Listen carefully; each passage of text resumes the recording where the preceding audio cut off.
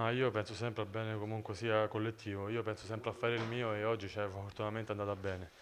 Cioè, dispiace perché la, cioè, potevamo vincere perché abbiamo fatto, secondo me, il primo tempo mezz'ora solo noi. Però purtroppo il calcio è anche questo, quindi prendiamoci questo punto e andiamo avanti. Dobbiamo sicuramente migliorare su questo, cioè, questo qua è scontato.